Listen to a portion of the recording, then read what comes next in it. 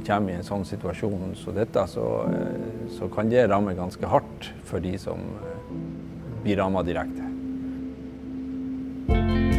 Arbeidsmiljøet her på verkstedet er veldig bra. Vi er veldig åpne med hverandre og, og støtter hverandre i alt etter hvilke utfordringer man kommer opp i som, som enkeltperson.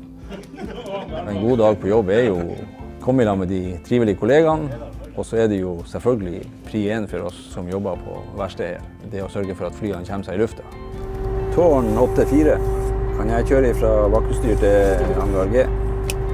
Her på verkstedet så er alle organisert. og eh, Dette er en, en, god og trygg arbeidsplass og har alltid vært det fram til nå.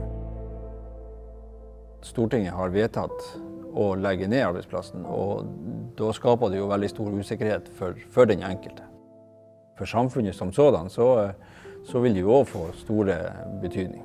Vi vil få større fraflytting, og vi, vi, vi blir færre folk igjen. Og det, det, det får innvirkning på, på samfunnet som sådan.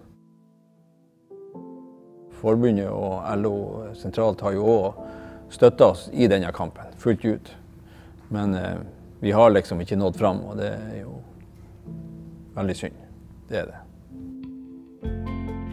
Det er ingen som skal få knekke oss fordi at de gjør det ene eller andre vedtaket. Vi skal klare å gjøre tjenesten vår uansett. Det er nok fellesskapet som gjør at vi holder sammen sånn som vi gjør. Og yrkesstolthet for den jobben vi alltid har gjort. Vi har nok ennå et halmstrå å, å, å bite i for oss å kunne overleve. Men det er nok bare et halmstrå.